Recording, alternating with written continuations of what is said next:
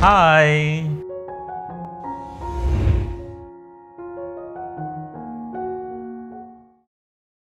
Obesity ఇంకా high blood sugars ఉంటే endocrinologist కానీ డయాబెటీస్ స్పెషలిస్ట్ కానీ మీకు మెటబాలిక్ సర్జరీ చేయించుకోండి అని రికమెండేషన్ ఇవ్వచ్చు.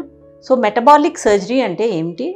సో మనం వెయిట్ ఒబేసిటీకి తగ్గడానికి చేసే బెరియాట్రిక్ సర్జరీ ఇంకొంచెం చిన్న మార్పుతో చేస్తే దానికి మనకి బాడీలో ఉన్న metabolic syndrome or high blood pressure high sugars high cholesterol ఇవన్నీ కాంబినేషన్లో ఉండే ప్రాబ్లంకి కంట్రోల్లో తీసుకొస్తాయి.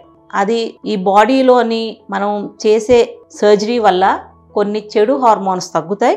మంచి హార్మోన్స్ లెవెల్స్ పెరగడం వల్ల టోటల్ మెటబాలిక్ సిండ్రోమ్ దాంట్లో ముఖ్యంగా మనకి ఇమీడియట్గా తెలిసేది మన షుగర్ కంట్రోల్. సో ఒక హై బ్లడ్ షుగర్స్తో ఉండి చాలా మెడిసిన్స్ వాడి మీ షుగర్ కంట్రోల్లో రాకుండా బాధపడుతుంటే కూడా మీరు సర్జరీ చేసుకున్న మరుసటి నాటి నుంచి మీకు కనిపిస్తుంది మీ షుగర్స్ కంట్రోల్లోకి వస్తాయి. సో అది ఎందుకంటే ఈ ఇంటెస్టైన్ రూట్ మారడం వల్ల మనకి ఈ షుగర్ కంట్రోల్ అయ్యే హార్మోన్స్ బాడీలో ఆటోమేటిక్గా ప్రొడ్యూస్ అయ్యి మనకి షుగర్ కంట్రోల్ వస్తుంది. సో షుగర్ కంట్రోల్ అవ్వడం వల్ల మనకి ఈ హై కొలెస్ట్రాల్ కానీ హై బ్లడ్ ప్రెషర్ కానీ ఫ్యాటీ లివర్ కానీ ఆడవాళ్ళలో పాలిసిస్టిక్ ఓవరీస్ కానీ ఇవన్నీ ఆటోమేటిక్గా కంట్రోల్లో వచ్చేస్తుంది.